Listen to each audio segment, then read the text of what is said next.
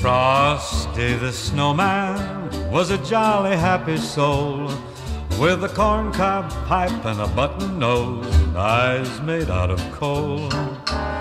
Frosty the snowman is a fairy tale, they say. He was made of snow, but the children know that he came to life one day. There must have been some